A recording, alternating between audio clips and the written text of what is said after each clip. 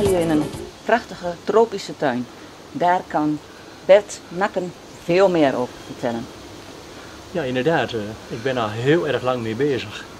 En eh, iedere keer kom- komt er weer wat nieuws. We zitten momenteel echt wel propvol hier. Met sinaasappels, eh, bananen, meerdere soorten bananen. allerlei soorten planten, agaves, yucca's uit Amerika, alle andere landen. Peperboom, granaatappels.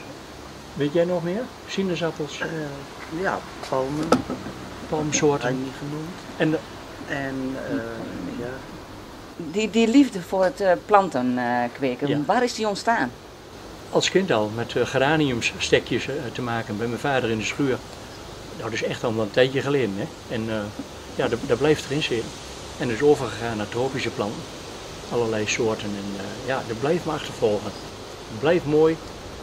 Dat laat me nooit los. Ja, want er staat zelfs een eh, bananenboom die bloeit. Kan u eens vertellen eh, hoe dat gaat met zo'n bananenboom? Ja, als de, als de banaan gaat bloeien, dus tenminste een paar keer hier al gebeurd, dan komt er een trosje bananen in, echt, echt wel klein nog. En daarna zie je de, de hoofdplant afsterven. En de jonge stekken die nemen eigenlijk het hele proces weer over. En die gaan gelukkig weer verder als bananenboom. Ja, absoluut. Die gaan allemaal verder. En hoe is dat zo gekomen dat hier wel dit soort planten groeien en bijvoorbeeld bij de buurman niet? Wat hebt u daaraan gedaan om dat voor elkaar te krijgen? Nou, sowieso eh, heel veel afgraven. Heel veel kubus eraf. En enkele honderden zakken met- van 40 liter. eh, hele goede tuinaarde, geen potgrond, maar tuinaarde. En dat eh, allemaal afgraven, invullen weer en daar de planten in. Met goede drainage.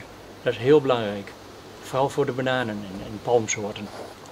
Aha, daar, daar zit dus het geheim van de smid. Ja. Want het weer is voor iedereen hetzelfde hier, hè? Absoluut. Ja, en die planten die niet tegen vorst kunnen, waar gaat u daar in de winter mee naartoe? Die gaan allemaal naar binnen in de garage. We hebben een garage van 65 vierkante meter, verwarmd. En daar gaat alles in.